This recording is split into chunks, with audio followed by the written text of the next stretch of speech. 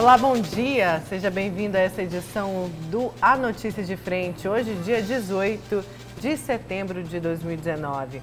E aqui ao meu lado, o Lúcio Sorge e o Antero Paz de Barros. Bom dia, Lúcio. Bom dia, Nayara. Bom dia, Antero. E bom dia você que nos honra com a sua companhia.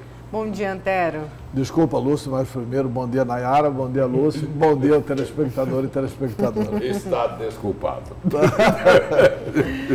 Olha, eu quero iniciar a notícia de frente desta quarta-feira.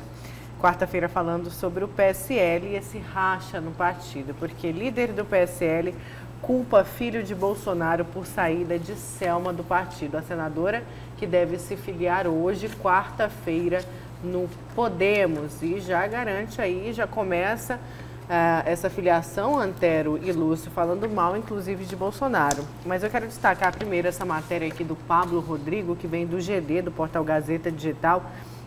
O líder do PSL no Senado, Major Olímpio, responsabilizou o filho do presidente Jair Bolsonaro, o senador Flávio Bolsonaro, pela saída da senadora Selma Arruda do PSL e sua migração para o Podemos. Em entrevista ao jornal O Estado de São Paulo, Major Olímpio disse que tentou convencer a senadora por Mato Grosso a permanecer na sigla, porém sem sucesso. Daí ele falou o seguinte: nós que representamos a bandeira anticorrupção do presidente, eu tentei convencê-la a ficar e resistir conosco. Quem tem que cair fora do PSL é Flávio, não ela. Gostaria que ele saísse hoje mesmo, disse. Essa entrevista do, do Major Olímpio foi na segunda-feira ao jornal Folha de São Paulo. Então, quem deveria sair ao, ver, ao ver do líder do PSL no Senado é Flávio Bolsonaro.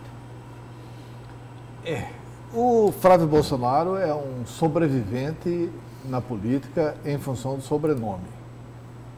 O Ministério Público do Rio de Janeiro acabou de fazer um parecer, assim, o promotor, porque o, o, o promotor, ele tem estabilidade no cargo e ele é inamovível. Essa é uma das características do Ministério Público. É, no Ministério Público, na promotoria, no funcionamento do Ministério Público, a mesa não tem cabeceira. Não tem chefe do Ministério Público. O procurador-geral não manda no promotor.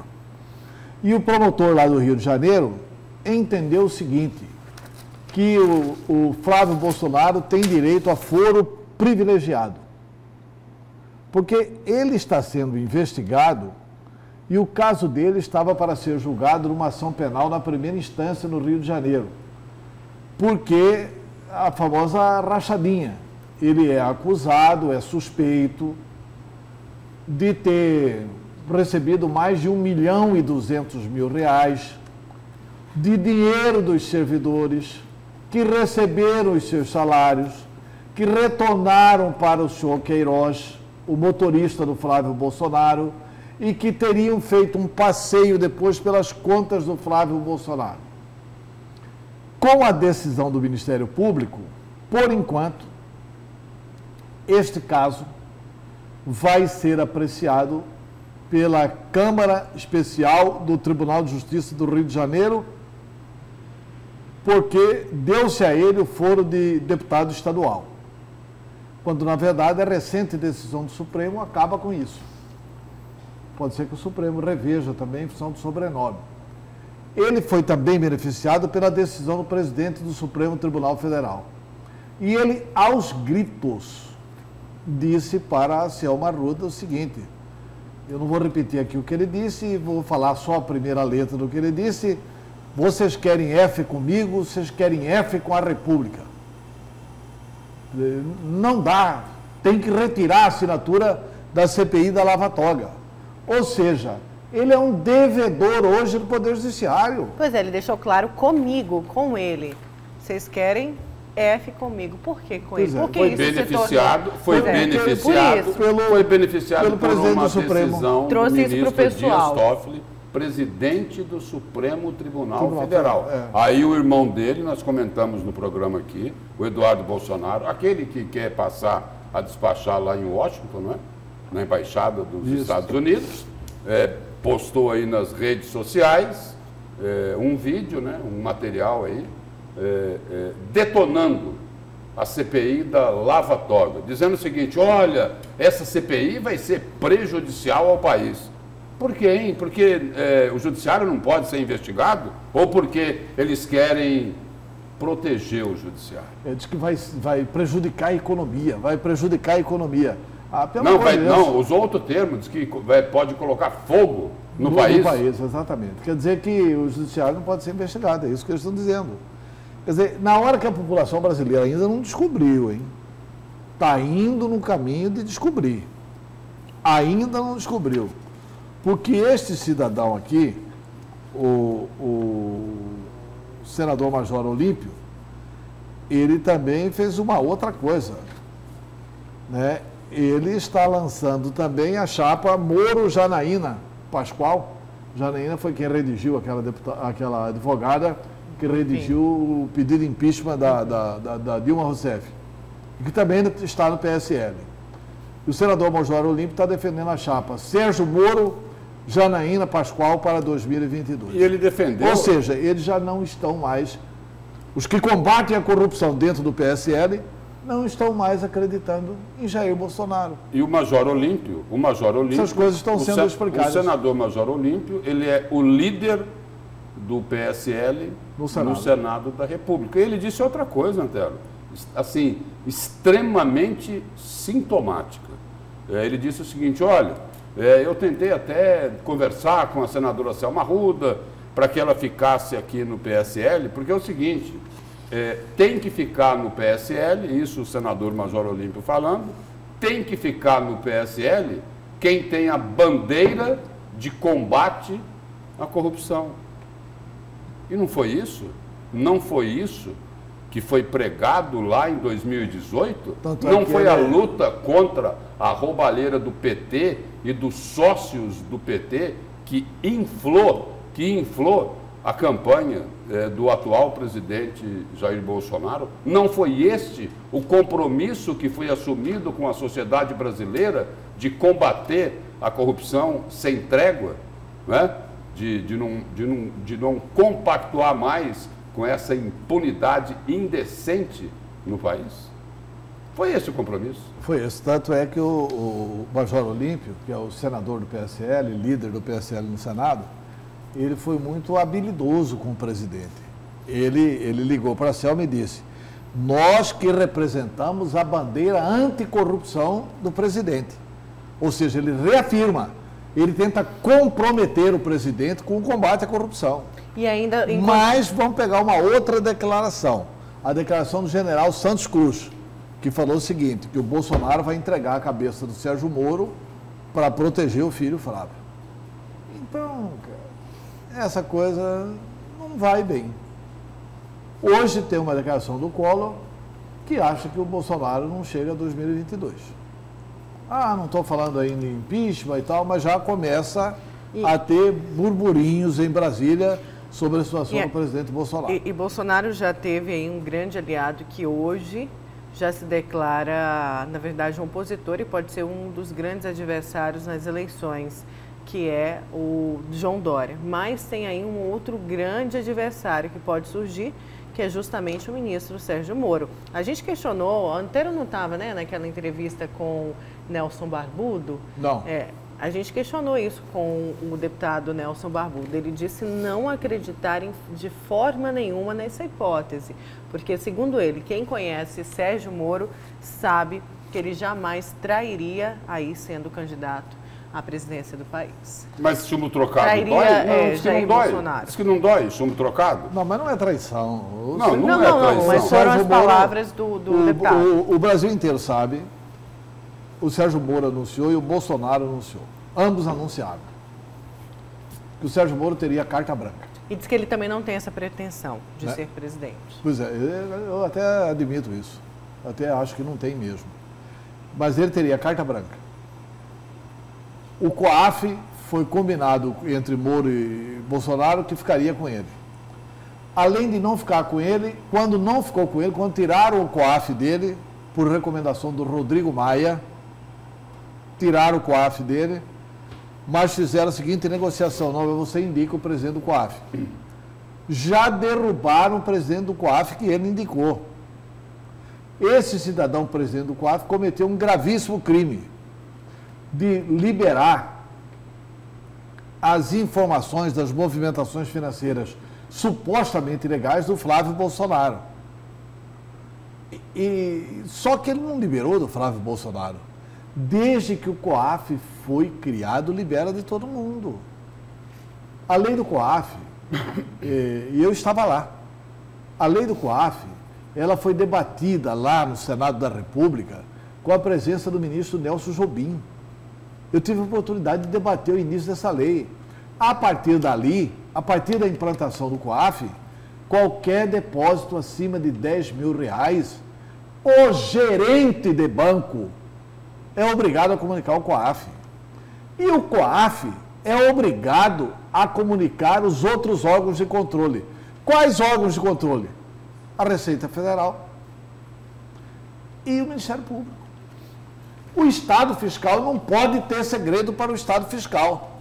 Aí porque tem o filho do Bolsonaro envolvido e a esposa do Toffoli envolvida, envolvida assim como suspeita, né?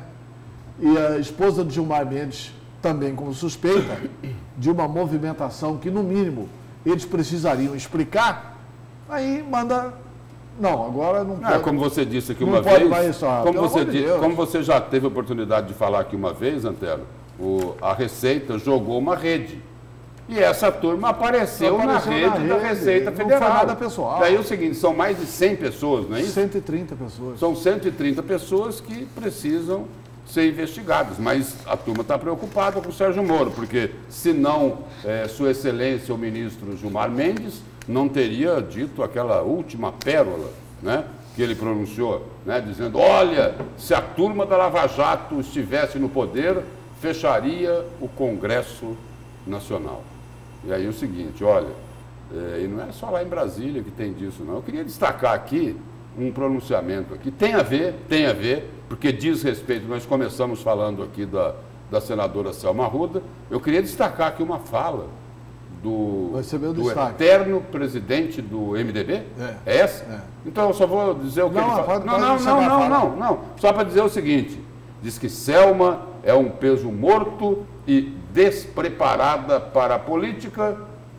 É a declaração do senhor Carlos Gomes Bezerra, que aliás que aliás, que aliás é, está lá na delação do ex-governador Silval Barbosa. Esse é seu destaque, Antônio? Esse é meu destaque com um detalhe, né? É mais um candidato a senador. Tá? O meu destaque é que essa, essa declaração, inclusive, é motivada, porque tem muita gente dentro do MDB que acha que o MDB tem que ter candidato próprio ao Senado e que o Carlos Bezerra é um grande nome para ser esse candidato próprio. Então, Bezerra é mais um candidato ao Senado da República. Certo. E o seu destaque, Lúcio? Melo, meu destaque é o seguinte, eu vou resgatar, eu vou resgatar é, um destaque aqui da semana passada. Quando eu disse aqui o seguinte, olha, está aberta a temporada de caça aos conselheiros substitutos do Tribunal de Contas do Estado. E aí o seguinte, e aí na sessão de ontem do Tribunal de Contas do Estado, isso se confirmou. Aliás, não só se confirmou, não só se confirmou. Foram feitas lá, foram feitas denúncias da mais extrema gravidade pelos conselheiros substitutos. Eles estão dizendo o seguinte, que eles estão sendo perseguidos, estão sendo perseguidos pelas decisões que eles estão tomando, que eles estão tomando para defender a correta aplicação do dinheiro público e que esta ação é orquestrada, é orquestrada por uma turma, por uma turma que faz parte daquele conhecido sistema, o sistema dominante e que é uma turma que está encastelada no poder e que está incomodada e que está muito mas muito incomodada com as decisões que vêm sendo tomadas pelos conselheiros substitutos. É o meu destaque de hoje. Certo, Lúcio. E, de, e o seguinte, a denúncia é tão grave, a denúncia é tão grave que, que é, outras instituições de controle e de fiscalização eu acho que precisa entrar nesse caso. Eu acho que precisa entrar nesse caso. Porque é o seguinte, o que eles denunciaram lá é o seguinte, olha, tem um bando aí que não quer que esse trabalho continue a ser feito no Tribunal de Contas. É isso. E na Câmara de Vereadores da capital, a CPI criada para apurar a cobrança indevida da taxa de esgoto deve ouvir já nos próximos dias representantes da Águas, da Águas Cuiabá e da ARSEC. Confira na reportagem. Bom dia, Nayara Antero, você que acompanha o programa Notícia de Frente. Instalada em maio deste ano, a CPI do esgoto aqui na Câmara Municipal de Cuiabá deve dar início nos próximos dias às oitivas, que vai incluir não só a empresa que presta o serviço de água e esgoto aqui em Cuiabá, a Águas Cuiabá, como também representantes da Arsec, que não estaria fiscalizando as cobranças consideradas indevidas. De acordo com o vereador Marcrian Santos, que é o presidente desta CPI, a concessionária estaria cobrando 90% do valor da taxa de água para cobrar a taxa de esgoto em muitos lugares onde sequer existe rede de esgoto em Cuiabá. Por isso, ele deve dar sequência aos trabalhos para ouvir os representantes da empresa e também da Arsec e fazer um estudo também para comprovar os dados.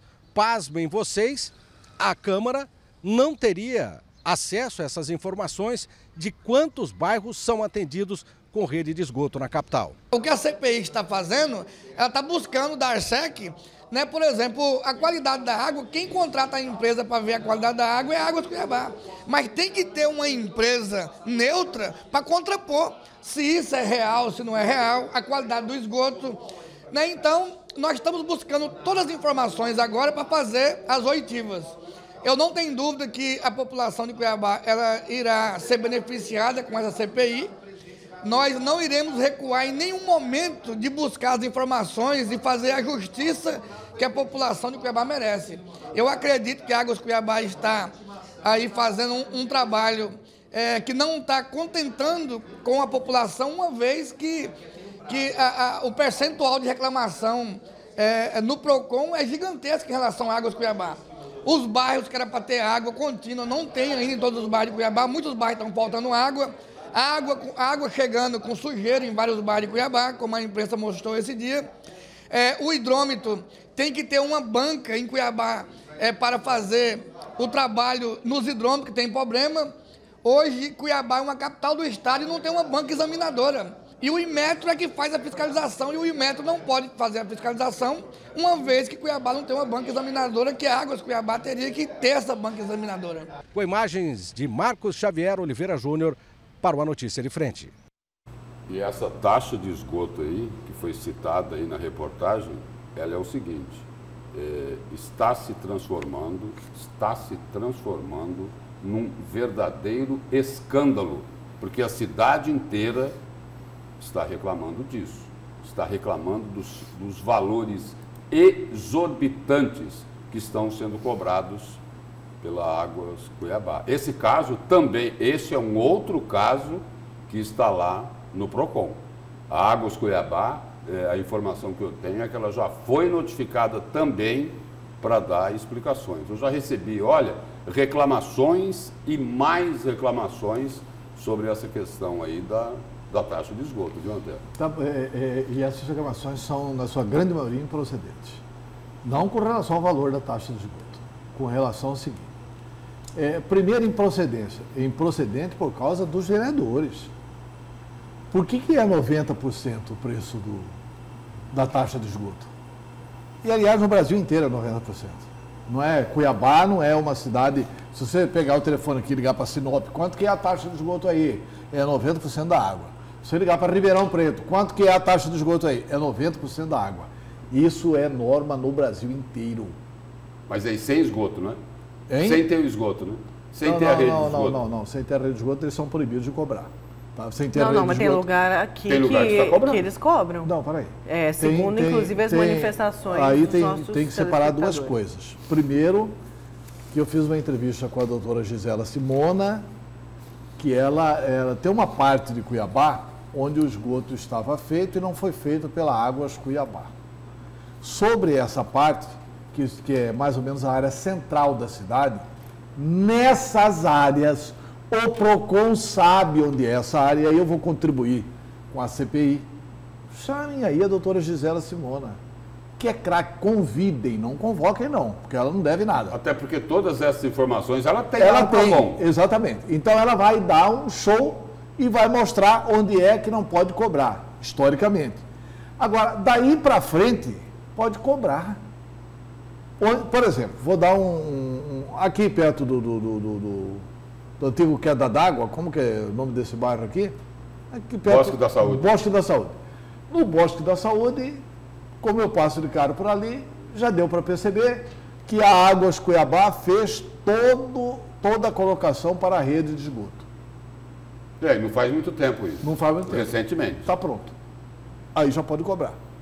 Aí você vai falar, ah, mas eu não liguei o esgoto da minha casa ainda no esgoto. Problema seu.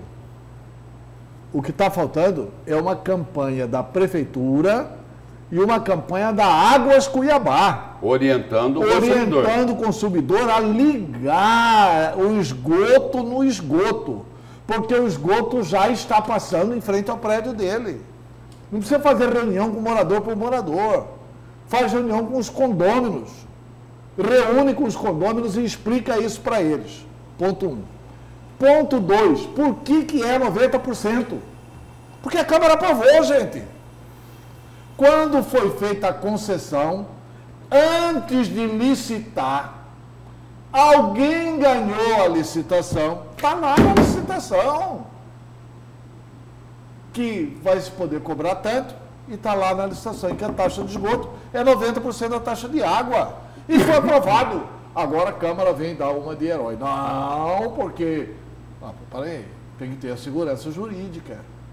A empresa entrou, aliás, as empresas entraram na licitação. Essa, essa, essa, é. essa, essa colocação, Antônio, que você fez, do, dos 90% da taxa de esgoto em relação ao que é cobrado da água, é, é daquela licitação lá atrás ou, ou agora quando foi lá daquela lá atrás, né? aquela toque de caixa. Aquela, é toque, de aquela caixa. Toque, de é, caixa, toque de caixa. Que entregaram é. de mão beijada para Cabe. Para Cabe, né? Cabe, é. Toda a estrutura é. de saneamento que Cuiabá possuía. Pois é, mas a Parabéns, licitação... senhores vereadores da época. É, mas a licitação é aquela lá. Na calada da noite. não foi, Na calada da noite. Não foi esta atual Câmara, mas muito provavelmente tem gente lá. O Maicrean era vereador lá. Ele era vereador. Ele era vereador lá. Muito provavelmente o Maicrean era vereador lá. Mas assim, eu, eu, eu não estou discutindo muito a taxa, porque essa taxa de 90% é no Brasil inteiro, gente. Eu prefiro que se cobre a taxa de 90% e a gente reduz o gasto com saúde pública. Quanto que melhora de saúde pública? Quantas doenças não são evitadas? Essa é a verdadeira A partir do momento que tem a rede de esgoto A partir ali, do né? momento que tem a rede de esgoto a partir do momento que tem a rede de esgoto. Porque a denúncia entra, dá... a denúncia que tem aí, me parece que estão cobrando isso na cidade toda. Mas não pode cobrar onde não tem. Mas então, tem cobrança. E, mas parece que estão cobrando. Pois é, mas aí é simples resolver isso com, com, com, com a CPI. É chamar a doutora Gisela Simona lá, explicar onde que é a área central que não pode cobrar, porque aí tem a rede de esgoto, mas não pode cobrar embora vai ter o tratamento. Aí é vai ser um debate. É, é a é, Águas Cuiabá alega a questão do tratamento que é feito próximo. É, mas enfim. aí tem que levar, é, porque eu, eu, eu, não consigo aqui apresentar a argumentação que a doutora Gisela Simona apresentou numa entrevista para mim lá na Rádio Capital FM. Mas a argumentação dela é muito completa juridicamente. Nessa área central não pode cobrar. E aonde não tem a rede de esgoto não pode cobrar. Agora, onde já passou o cano mestre para a população colocar rede de esgoto, ele já pode cobrar. Ainda que a população não tenha colocado. Ainda que a população não esteja desfrutando por um erro da própria população. Não é mais. Um erro pelo desconhecimento do poder público que não dá informação é, que já deveria ter é, dado. É um erro com dois culpados. É. Né? A própria Águas Cuiabá e a própria Prefeitura de Cuiabá. Né?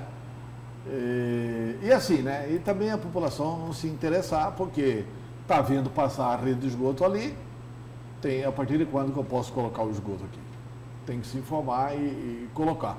Mas onde não tem rede de esgoto é proibido cobrar. E, e vou, avisar, vou, vou dar aqui assim, mais um alerta novamente. Né? Eu já falei isso aqui outras vezes e eu vou repetir. Para que a Águas Cuiabá, Águas Cuiabá, é, onde fizer assim, onde abrir o asfalto, não é isso? Para é, colocar a rede de esgoto, e aí depois recolocar o asfalto, por favor, por favor, não coloquem asfalto meia boca. Serviço público, né? Que desde o início, exatamente, exatamente. O, que desde o início isso vem ocorrendo. Já foi alertado, diz que estão fiscalizando, mas continua basicamente da mesma forma em muitos locais onde esse trabalho está sendo feito. É lógico, é lógico que, que a rede de esgoto vai ser de uma, uma utilidade enorme para a população, principalmente no aspecto aí da, da saúde. Né? É, agora, agora não pode é, é, é, cortar o asfalto e depois fazer de conta que devolveu o que tinha antes. Não é o que vem ocorrendo. É, só um outro detalhe também, que o, o vereador tem razão de cobrar a questão da hidrometragem para medir a questão da água e tal, ele tem absoluta razão de, de, de, cobrar que isso exista. Mas ele não vai querer que isso exista na Águas Cuiabá, como ele acabou de falar aqui para nós. Isso tem que existir na Arsec. Quem tem que ter uma banca lá para poder aleatoriamente sortear alguns medidores de dois em dois meses para ir lá e fazer a checagem é a Arsec. Porque isso aí. É o órgão fiscalizador. Porque, fiscalizador. porque isso daí é, é para defender a sociedade. É? Exatamente. É? Você citou a Arsec aí no caso da água. Agora, a Arsec, no caso da água, não pode agir como agiu há pouco tempo atrás, que ao invés de defender o usuário do transporte coletivo, estava muito mais preocupada em defender os empresários aí que são o, o que detêm a concessão do transporte coletivo aqui em Cuiabá. Olha, vamos para o nosso primeiro intervalo. Na volta a gente vai falar sobre o projeto Cota Zero. Ainda tem eleições 2019, então não saia daí.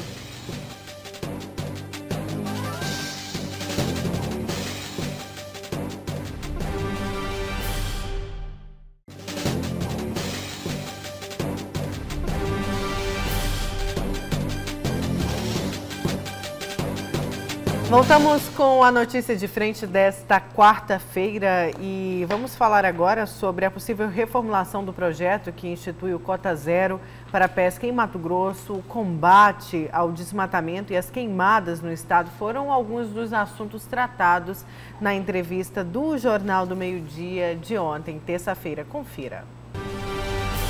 Secretário, 2019 tem sido um ano muito, muito difícil é, nesse aspecto aí das queimadas, né, que explodiram não só em Mato Grosso, em toda a Amazônia e também o desmatamento. A fiscalização é, vai ser mais rigorosa a partir de agora? Bom, isso, na verdade, nós temos um desafio no ano de 2019 para o mundo.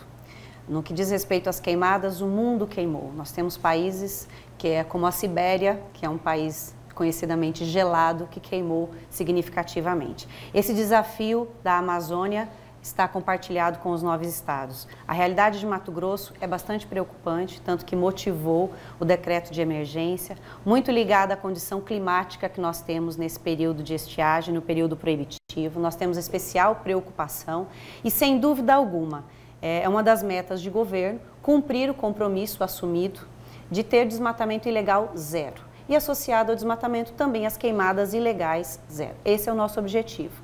No que diz respeito às queimadas, nós temos um aspecto cultural que envolve e que dificulta esse trabalho. O objetivo do Estado, desde o início do ano, com as ações de combate, reforçada com, a, com as aquisições da plataforma Planet para nos auxiliar nas ações repressivas. E o pedido de apoio do decreto de emergência visa exatamente que a gente possa fazer um combate expressivo, eficiente e preciso onde as ações ilegais estejam ocorrendo. O objetivo do Estado de Mato Grosso é manter o desmatamento ilegal zero e conduzir as queimadas para os períodos proibitivos e dentro das autorizações que são previstas na Com essa plataforma e a Planet, onde esse monitoramento dá respostas ao governo, à Secretaria do Meio Ambiente em, no máximo, é, 24 horas. É, não tem mais desculpa para não fiscalizar. É, Queimada verdade... e desmatamento, principalmente, não é, secretário?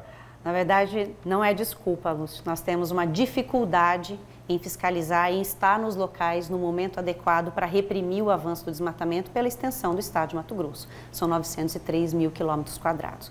Por isso, a tecnologia é essencial para que essa fiscalização seja mais eficiente. O fato de nós termos o dado em tempo praticamente real, e não só esse dado no tempo, mas também na forma que facilite a fiscalização, permite que possamos ter duas ações essenciais. Primeiro é o comando e controle em loco, nessas regiões para fazer o combate, o que permitiu que nesses 30 dias nós pudéssemos, de forma eficiente, nos dirigir exatamente onde estava ocorrendo o ilícito e aplicar as autuações. Não só as autuações, mas a apreensão de maquinários, a condução coercitiva dos infratores e todas as demais ações que envolvem uma ação fiscalizatória. É, além dessa ação de comando e controle, nós vamos iniciar uma ação de call center, de aviso ao produtor, aviso àquele que está cadastrado no órgão de que o ilícito está se iniciando, quer voluntário ou involuntariamente. Nós ainda temos no estado de Mato Grosso um percentual é, de ações que são ilícitas. Às vezes o produtor não sabe que está havendo uma invasão em sua propriedade. De qualquer modo, o objetivo do órgão é agir preventiva e repressivamente para o objetivo sempre do desmatamento ilegal zero. Do fogo para a água. É, a pergunta é a seguinte: é o polêmico, o polêmico projeto Cota Zero que vem recebendo aí muitas críticas, inclusive da própria bancada é, de sustentação do governo. É, o, o, governo ele pensa em, em, reformular, em fazer alterações nesse projeto, principalmente no que diz respeito aí é, com o fim da atividade dos pescadores profissionais, porque de acordo com o projeto, o pescador profissional vai acabar, não é? É, haveria uma suspensão da pesca, é, não da pesca em si, mas do transporte e do comércio de pesca pelo período de cinco anos. Evidentemente que assuntos como esse, é, toda restrição de uso, ela é bastante polêmica. É um assunto que depende da oitiva da sociedade. Né? Não é um projeto que se inicia e se acaba com a vontade de governo. A fundamentação do projeto é toda uma preocupação que nós temos com estoque pesqueiro. Um exemplo que tivemos do Dourado e o resultado que hoje se promove é que sensivelmente a sociedade percebe o aumento do dourado é, nos rios, nas bacias do estado. É, hoje a postura de governo é ouvir os diversos segmentos, tanto os que defendem quanto aqueles que criticam o projeto, e também colher alternativas, é, sugestões de aprimoramento do projeto. O que se cobra porque o governo não fez isso antes. Essa é uma cobrança que é feita antes de enviar o projeto. É, nós fizemos algumas discussões em nível técnico, mas a discussão que se faz de um projeto é em audiências públicas no âmbito do legislativo. Isso acontece com qualquer outro projeto. Né? E o ambiente para se discutir o melhor é na Casa de Leis. O governo tem feito isso e tem participado. A ideia é, dentro daquilo que for o melhor para o Estado de Mato Grosso, ouvidas as posições técnicas e as sociais, encontrarmos um denominador comum que possa fazer o projeto de lei avançar. Pois é, só de já poder ter uma reformulação nesse cota zero, né, Lúcio? É um avanço, porque do jeito que está, até os parlamentares é, que são da situação do governo afirmam que é bem difícil passar. É um ponto positivo aí colocado pela secretária do Meio Ambiente. Ela não disse aí assim com todas as letras, mas é, admitiu de maneira bem clara, bem clara, que o, o, o fórum ideal é, para discutir é, o projeto Cota Zero é lá na Assembleia Legislativa. Falou que a sociedade vai ser ouvida e, de uma certa forma, aí, é, deixou aí, é, em aberto aí a possibilidade, a possibilidade de que é, o governo possa fazer algumas modificações nesse projeto. Até porque, se não fizer é, essas alterações, dificilmente o projeto vai ser aprovado lá na Assembleia. Eu sinto uma boa vontade da Assembleia com esse projeto. Inclusive, o deputado Botelho tomou uma providência espetacular em relação Sim, a esse projeto. Colocou, é, colocou de, criou uma comissão. Né? Criou uma comissão para visitar como é que está funcionando em Mato Grosso do Sul e como é que está funcionando em Goiás. Dois estados que já fizeram um projeto semelhante a este que o Mauro Mendes quer implantar em Mato Grosso. E, e aí, que lá não anda bem. É, inclusive, estão, na verdade, checando isso. Na verdade, a é, informação é, que o é. professor Chico Peixe passou foi que em Mato Grosso do Sul não está em vigor ainda. Foi aprovado para entrar em, entrar em vigor em 2020. Porém, os uhum. parlamentares já estão pedindo para que o Estado, o governo, volte atrás Sim. e derrube. É, lá não está em vigor, é, portanto, tá. o projeto não foi testado Sim. e os parlamentares não estão pedindo para voltar Isso. atrás, porque eles sofrem uma, uma pressão dos pescadores profissionais. Não, porque, é, segundo ele, já tem um impacto na economia local. E o, o Chico Peixe disse é o seguinte, é, referindo-se aí aos pescadores profissionais, de que, de que é, o projeto do governo, da forma como está, vai transformar os pobres em miseráveis. Então é o seguinte, então é preciso corrigir algumas coisas, não é, É importante o projeto é, do governo. Mas, por exemplo, eu, eu o seguinte, é, eu não consigo conceber que é, é, o pescador profissional, que está há décadas nessa atividade, quando todo mundo está dizendo, olha, não é o pescador que está acabando com o peixe. É o pescador. Não é o pescador. E aí o jacaré não acaba com o peixe. Estudiosos colocam o pescador O jacaré como... não, que come 12 é, quilos de não peixe Não só o jacaré, o esgoto jacaré, e o lixo. Jacaré sempre aconteceu. Essa, essa questão de, de, de esgoto e lixo, isso é uma baboseira.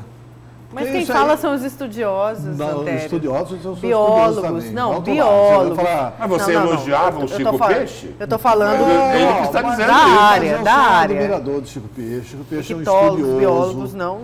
Mas eu tenho lido o que ele tem falado. Ele tem falado o seguinte, olha, é, não dá para afirmar que a população de dourado aumentou no rio Cuiabá. Eu vou afirmar. Eu sou pescador amador e vou afirmar. Você vai pegar peixe hoje, você não pega, e você só pega dourado. De vez em quando um dourado. Então a população de dourado aumentou sim, embora não seja mais época de dourado agora. Dourado é para pescar mais no mês de maio, abril e tal, é, nas corredeiras, etc. e tal.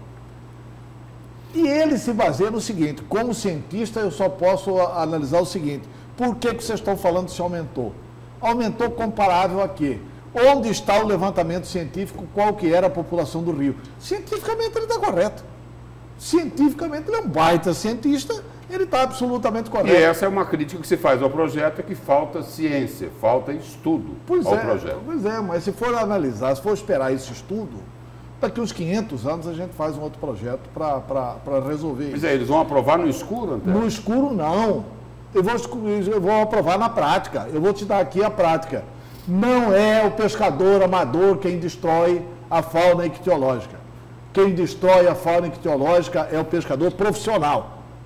E eu vou dizer por quê. Eu sou pescador amador. Eu de vez em quando vou pescar. Desses 15 dias de férias eu fui pescar. Fui no Pantanal quando eu perdi a eleição, a minha reeleição de deputado federal, em 1990. Eu fui no mesmo lugar no Pantanal em um dia, eu e mais quatro pessoas, pegamos 74 pintados no anzol. No anzol. E não é história de pescador. E não é história de pescador. e é, fui lá agora. Em cinco dias de pescaria, pegamos dois barbados. E uma... no, no, no mesmo local. Eu estava lá no Porto Jofre, que é a divisa de Mato Grosso e Mato Grosso do Sul, é o lugar mais piscoso do Pantanal, é onde você pega mais peixe no Pantanal. Pergunta aí para Roberto França, que sempre foi lá, para outras pessoas que sempre não, foram Não, que lá no Porto Jovem diz que quem pega, quem pega não é Roberto França, é Dona Iraci, ela que é, pega o peixe. É, tá bom, mas pega. Pegava. Pegava. Pegava. Pescamos cinco dias lá, pegamos piranhas e, e dois barbados. E, e, e é, é, no mesmo lugar onde, onde há, há, alguns anos atrás a gente pegou 74 pintados. E estava lá e tinha uma barca por nome Jaguar, que estava esperando um empresário aqui de Cuiabá, dono da Domani, o Armando de Oliveira, que é meu amigo pessoal, irmão do Dante. E alguém falou para mim, o Armando está ali na, na, na, na, no Jaguar. Aí eu fui lá no barco do Jaguar, para conversar com o Armando. Falou, oh, o Armando está aí, queria falar com ele. Ele falou, não, o Armando não chegou. Nós estamos aqui esperando ele. Como eu ia sair para pescar, não esperei o Armando, fui pescar. Ele foi lá. E aí, conversando com o dono do, do da barca, ele falou, olha, mas não tem jeito. Vocês estão vendo gás ali na beira do rio? É porque está começando a aparecer o lambari, E aí vai ter lufada, vai ter peixe. Já subiram aí os pescadores profissionais para colocar espinhel no rio. Atravessa um cabo de aço de uma ponta a outra no rio, prejudicando inclusive a navegação e colocando em risco a navegação. Coloca, numa distância de menos de um metro, de meio e meio metro, anzóis e iscas nesse espinhel ao longo do rio e vai prendendo o peixe. E o peixe não sobe. Na hora que você proibir essa comercialização, e eu não conheço nenhum desses pescadores profissionais que ficaram ricos. O Chico Peixe tem razão, eles são pobres. O que eu defendo é que o Estado, antes de proibir, arrume a solução para eles. É, isso tem que se arrumar, porque arrume, até aqui não arrumou. Porque pagar um salário mínimo é que vai acontecer, vai acontecer se não tiver políticas públicas, entendeu? É, bem pensadas, pagar um salário mínimo para uma família inteira, vai acontecer o que o Chico Peixe falou. O pobre vai virar miserável. E uma outra contradição citada pelo Chico Peixe, Antero, que é grave, que é grave. Quer dizer, é, o pescador profissional não pode ir lá e pescar e tirar o peixe. Né? Mas não, pode, pode, o seguinte, mas pode colocar a draga, a draga retirando a areia do rio no período da piracema. Aí pode, né? Não, ele tem que, tem que regulamentar a questão de draga, a questão do esgoto, a questão de, de reflorestar a beira do rio. Tem esta, esta secretária do Meio Ambiente que teve aqui, ela tem que fazer o seguinte, pede para os fiscais da, da, da SEMA para subir o Rio Cuiabá, subir os outros rios do, do, do, do Mato Grosso, não é só em Cuiabá, não. É, subir os outros rios de Mato Grosso, visita proprietária, proprietário. Você tem chácara aqui? Tem. Aqui está desmatado na beira do rio, está aqui. 30 dias para você replantar sarã aqui na beira do rio. Se não replantar sarã, vai ser multado. Isso impede o assoreamento do rio, impede a ida de areia para dentro do rio, impede que o barranco vai caindo para dentro do rio. São medidas que precisam ser tomadas. Agora, porque essas medidas precisam ser tomadas, as outras não serão. Lúcio, a Argentina está rachando de ganhar dinheiro. Você sai daqui, pega um avião, gasta 4 mil Mas reais, vai na Argentina e você faz lá a pesca, que é essa que o Mauro Mendes quer. Do pesca e solte. Mas o poder público fica lotado. É o seguinte, o que as pessoas estão, o que as pessoas estão criticando, Antero, é o seguinte a, a Nayara está avisando aqui que é para terminar, é, o poder público é o seguinte, ele não faz a parte dele, não faz a parte dele, e a primeira providência vai ser em cima do pescador, é isso daí que precisa se chegar a um consenso. É, precisa é chegar ao consenso, tem que proibir sim é, o pescador a gente ainda vai discutir, pescar, é. porque é o pescador profissional quem coloca a rede, quem coloca o não é o amador não. O amador vai lá brincar. Vai aí falta o poder público também, que é. não vai lá para fiscalizar. A gente ah, ainda vai discutir. Mas aí não tem essa estrutura aí vai quebrar o então, Estado então, para fiscalizar todos os rios né? de Mato Grosso. Mas criar gente... uma estrutura... Ué, uma estrutura de fiscalização. Não, pois é, é mais fácil. É mais fácil você criar assim, proíbe. Porque, inclusive, com o avanço da tecnologia... E, e ele não vai fiscalizar a, ração, a, proibição? Com a ração flutuante, os peixes que a gente tem comido em Cuiabá é tudo tanque. E é gostoso, porque a ração é flutuante. Antigamente ficava com gosto de barro, porque era milho que caía e ia lá para o fundo, o peixe ia comer o milho e comia um pouco de barro também. Certo, a gente vai voltar a falar do Cota Zero ainda muito até. Eu vou enfrentar o cientista Chico Peixe, meu irmão, meu amigo, gosto dele. Vou até convidá-lo para um debate lá na Rádio Capital FM. Por favor, vamos para o seu destaque, Lúcio. Vamos lá, Nayara. É, eu quero retomar um assunto aqui que é, a gente já tinha conversado na semana passada aqui numa notícia de frente. É, eu dei um destaque aqui, fiz um comentário dizendo, olha, é, começou a temporada de caça é, contra os conselheiros substitutos do Tribunal de Contas. E aí, e aí, ontem, ontem, numa sessão do Tribunal de Contas, isso não apenas se confirmou, teve algo muito mais grave. Alguns conselheiros substitutos fizeram denúncias gravíssimas, gravíssimas de perseguições, né? de esquemas, esquemas subterrâneos que eles estão sendo vítimas por causa das decisões que eles estão tomando. E o que é que deflagrou tudo isso?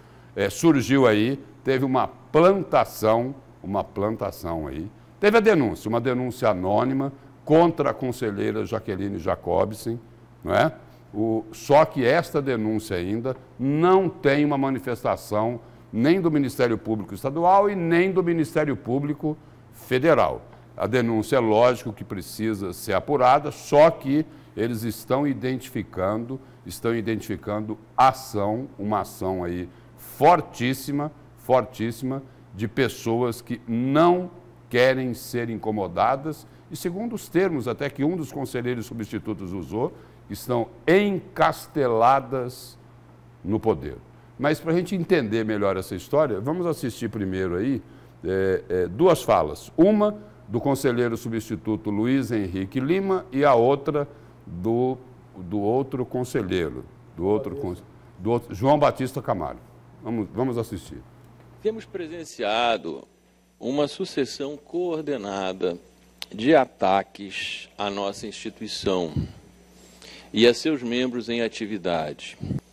Todos os que nos acompanham reconhecem que o Tribunal de Contas de Mato Grosso tem atuado com crescente efetividade, tempestividade e imparcialidade.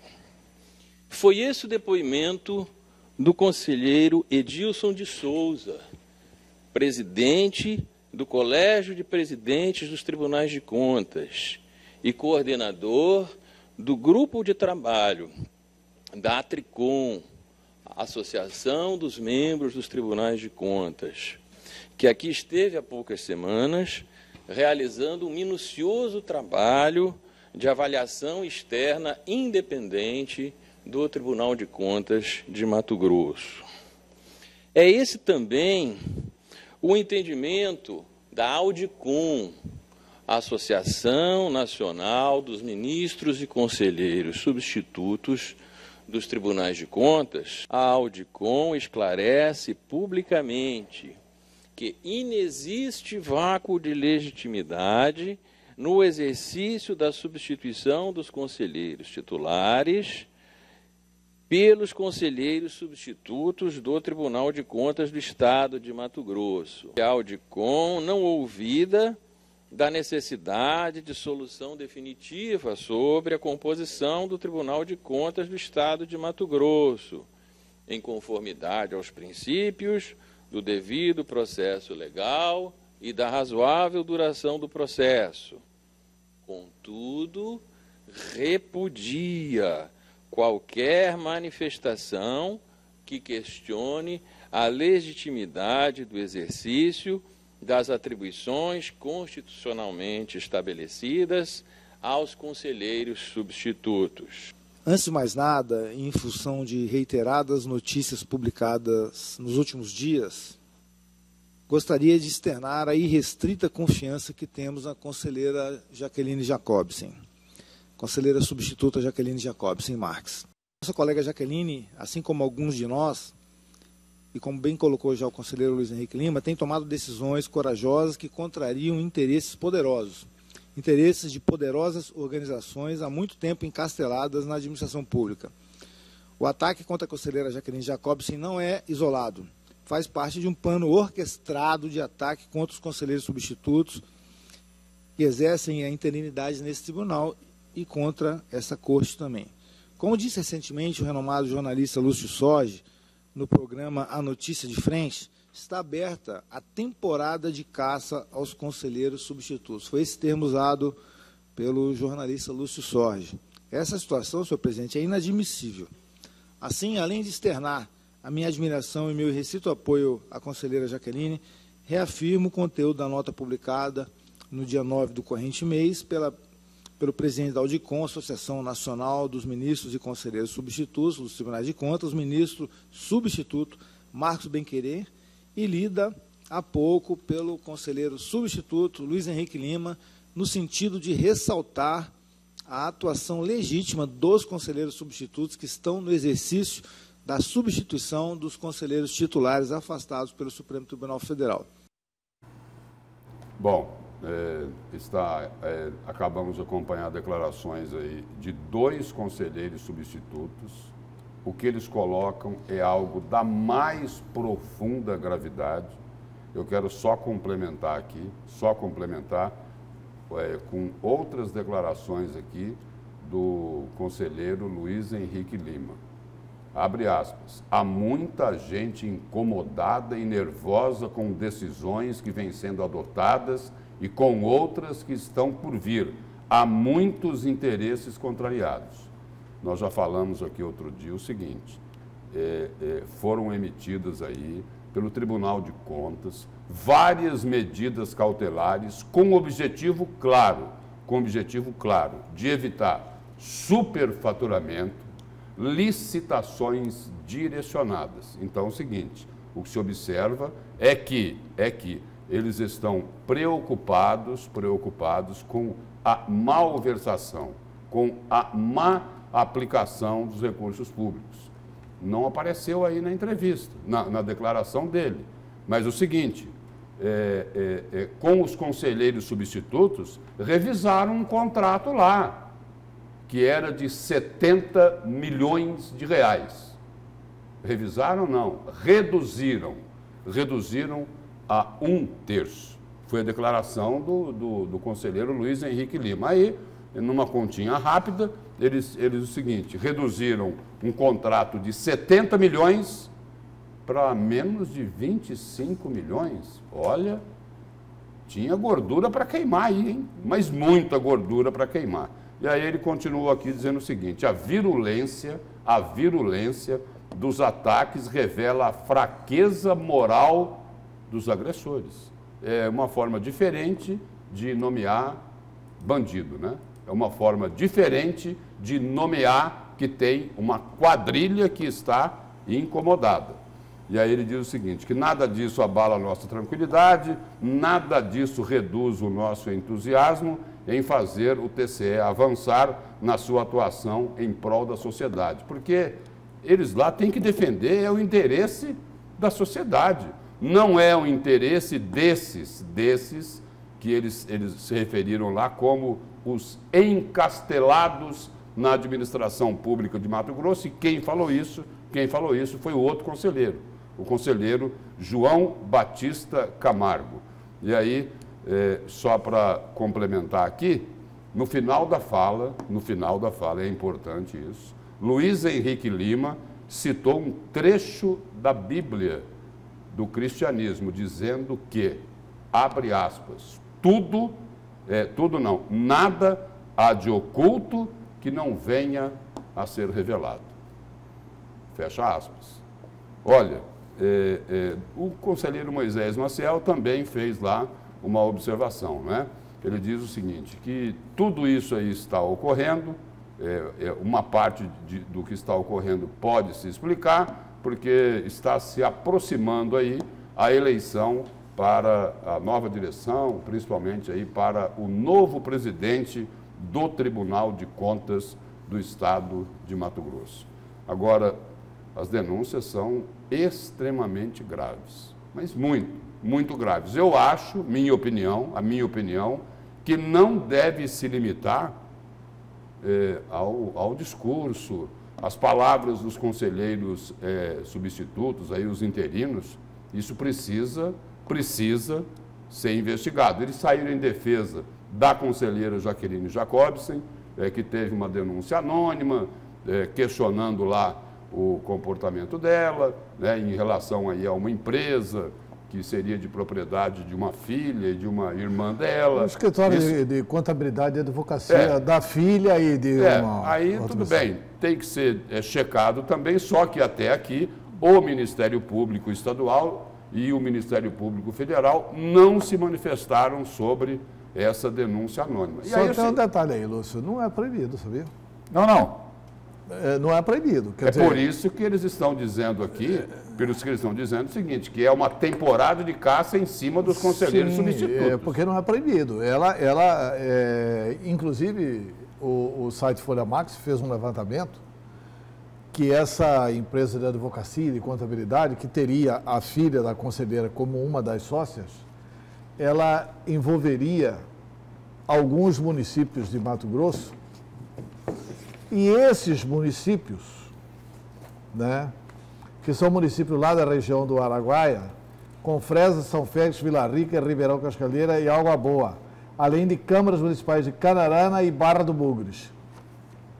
Quando essas contas vieram para ser julgadas, a conselheira Jaqueline se declarou impedida. Seguinte, ela não na... pode proibir a filha na... dela de advogar e, e na... de trabalhar. Na única que ela se, na única que ela se manifestou. Mas se manifestou todo... antes de ter o um contrato. Não, mas mesmo assim, não, não, mas mesmo assim, na única que ela se manifestou, todos os outros conselheiros votaram junto com ela, porque ela era relatora. É. Ok? É, e, e, quando ela se manifesta como relatora, não havia contrato. E aí precisa. Aí, também... alguns dias depois, é feito o contrato. E aí precisa só o seguinte: é, é para deixar bem claro aqui para o telespectador da Notícia de Frente, a denúncia é anônima. O, tanto o Ministério Público Estadual como o Ministério Público Federal não se manifestaram ainda sobre essa denúncia anônima, só que o seguinte, só que encheram, plantaram notinha em tudo quanto é lugar sobre sobre a investigação, sobre essa denúncia anônima contra a conselheira Jaqueline Jacobs. E aí o seguinte, e aí, e aí os conselheiros substitutos, eles sentiram que tinha que fazer algo, a solidariedade. Que, né? Não, que tinham que fazer a solidariedade sair em defesa, porque eles estão se sentindo o seguinte, estão sentindo que é, eles estão sendo alvo, né? Eles alvo não, eles estão sendo caçados. Foi o que eu coloquei aqui na semana Efeito passada. Orloff, eu sou você amanhã. É, uma temporada aberta, temporada de caça contra os conselheiros substitutos do Tribunal de Contas do Estado, que estão incomodando, e segundo mesmo, eles mesmos colocaram aqui, estão incomodando bastante, bastante aqueles que estão encastelados há muito tempo na administração pública. Então, é o seguinte, Agora, talvez não exista apenas, apenas essa denúncia anônima contra a conselheira Jaqueline Jacobs. O Ministério Público agora deve se interessar mais por esse caso, porque é, o que foi apresentado nessa sessão do Tribunal de Contas do Estado ontem pelos conselheiros, especialmente aqui pelo conselheiro Luiz Henrique Lima e pelo conselheiro João Batista Camargo, são denúncias da mais profunda gravidade, que estão querendo amordaçar, amordaçar quem, quem fiscaliza a aplicação do dinheiro público aqui em Mato Grosso. E isso é em defesa da sociedade. Isso daí não é para defender, não é para defender bandido, não é para defender quadrilha. Então, se eles vieram a público, se eles vieram a público, porque essa sessão do TCE, ela é transmitida ao vivo, ela é transmitida ao vivo. É, não é à toa que eles fizeram isso. Eles estão se sentindo acossados por gente poderosa. Eu só queria, em 30 segundos, falar o seguinte. Primeiro, que tem um artigozinho na Constituição que ninguém será obrigado a fazer ou deixar de fazer alguma coisa senão em virtude de lei. É, não há crime sem lei anterior que o defina. A conselheira Jaqueline, ela não pode proibir a filha dela de ter o escritório de advocacia e nem de atender determinados clientes.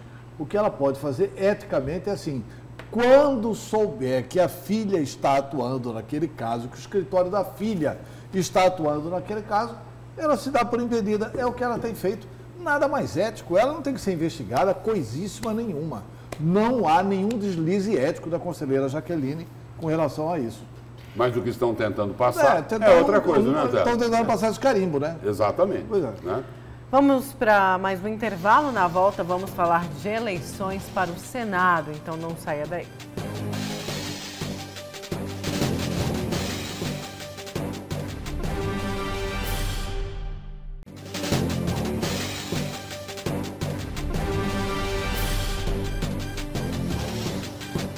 Voltamos com a notícia de frente desta quarta e vamos falar das eleições para o Senado. Grupos políticos mato-grossenses começam a se articular diante da possibilidade de Selma Arruda perder em definitivo o mandato político de senadora por Mato Grosso. Neste caso, os eleitores mato-grossenses serão obrigados a ir às urnas eletrônicas para escolher uma nova eleição suplementar os cargos de senador e de primeiro e de segundo suplente de senador. Confira na matéria.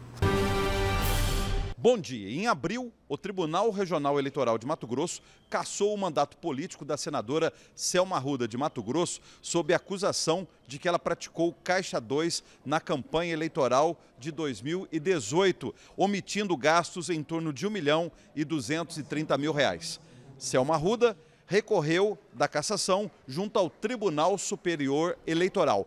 Mas a Procuradora-Geral da República, Raquel Dodge, manifestou favorável à cassação do mandato político de Selma. Em consequência disso, grupos políticos em Mato Grosso já estão se articulando para uma eventual eleição suplementar para o Senado da República, caso seja confirmada a cassação do mandato político de Selma. Hoje nós temos um grupo muito grande na Assembleia Legislativa e nós gostaríamos muito de andar em conjunto, até porque ano que vem a gente vai enfrentar uma eleição lá da mesa diretora, então naturalmente que os grupos já comecem a se articular, pensando também nas eleições municipais e na eleição da mesa.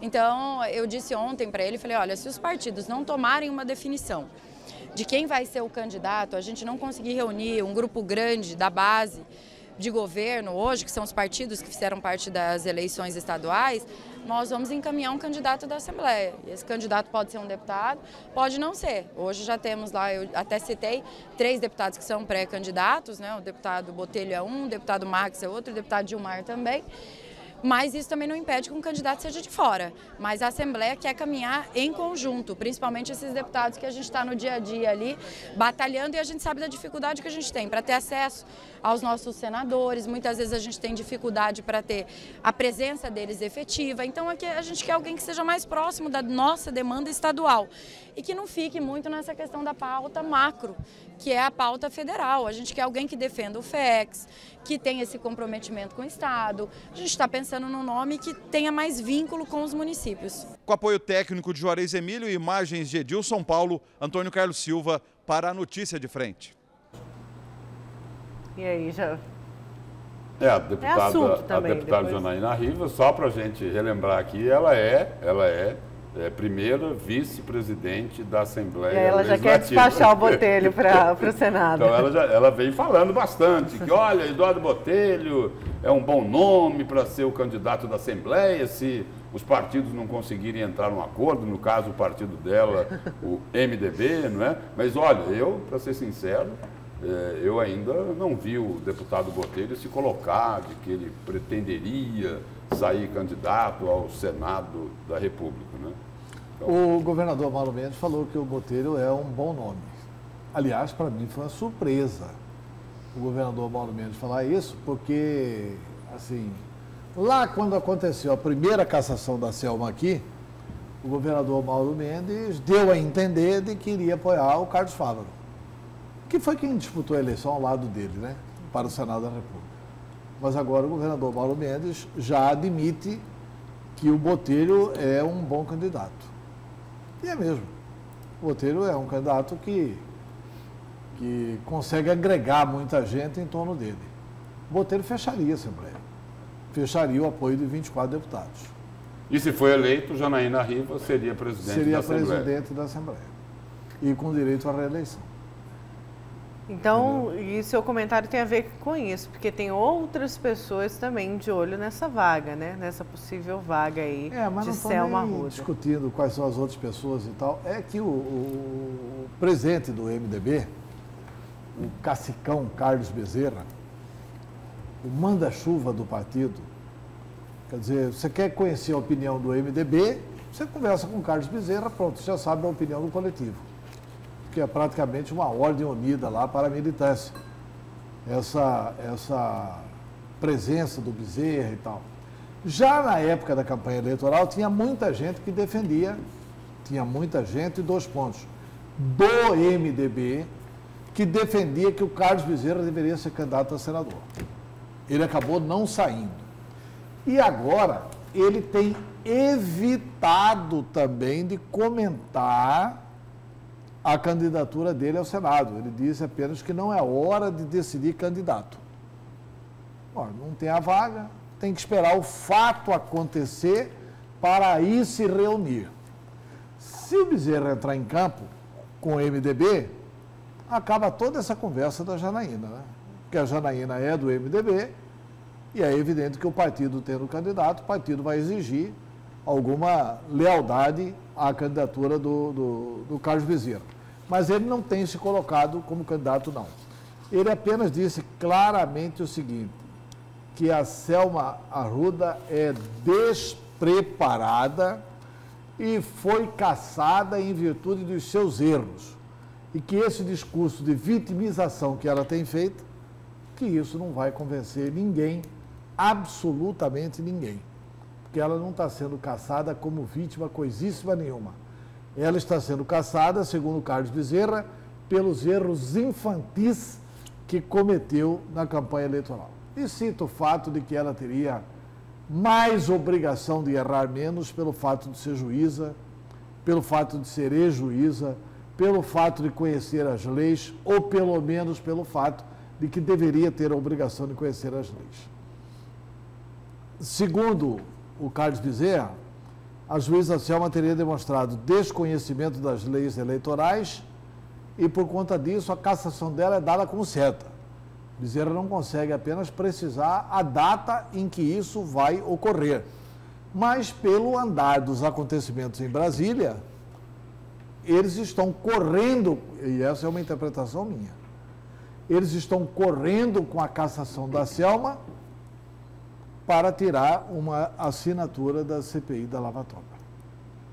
Para ter a CPI da Lava Toga uma assinatura a menos. Só que tem um detalhe.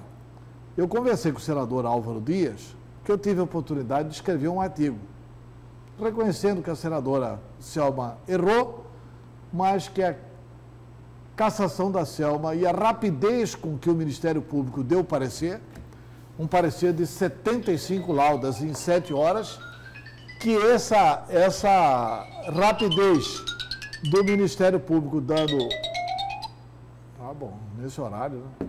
A rapidez do Ministério Público dando o parecer é, passou realmente um entendimento para a população de que as coisas estão mais ou menos acertadas para que seja célere a cassação da Selma Arruda.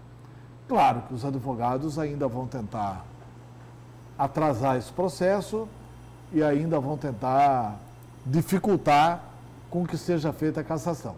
Mas retomando o raciocínio, eu tinha conversado com o Álvaro Dias e ele me disse o seguinte: ele, ele eu telefonei para ele para saber se a Selma iria se filiar ao Podemos.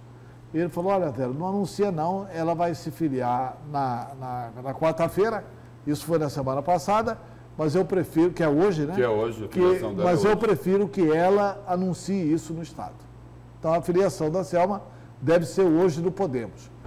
Mas ele me disse o seguinte: eu li seu artigo, muito bom, e nós vamos adotar essa estratégia aqui no Senado.